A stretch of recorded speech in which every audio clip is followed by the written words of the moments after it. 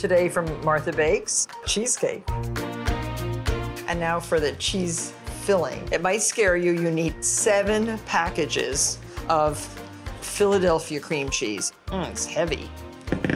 It's 56 ounces of cream cheese. Don't bother adding it all up. You're gonna probably not want to think about the calories that are in this cake.